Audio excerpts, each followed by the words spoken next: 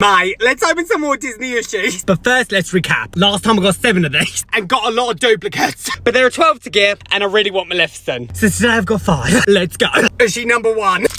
Feels like Cinderella. Another duplicate. Literally the only one that didn't have a double. I do not like these things. Ooshie number two. it's Maleficent. I love it. It's the glare for me. Ooshie number three. Feels like a big one. Oh. it's Rapunzel. It was the big hair. It's full of secrets. Ooshie number four is...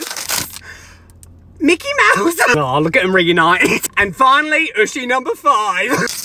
Duck. Oh, I manifested too hard. She's the mistress of all evil. She loves to disappoint. So after all that, we have five out of 12. And I'm to give up.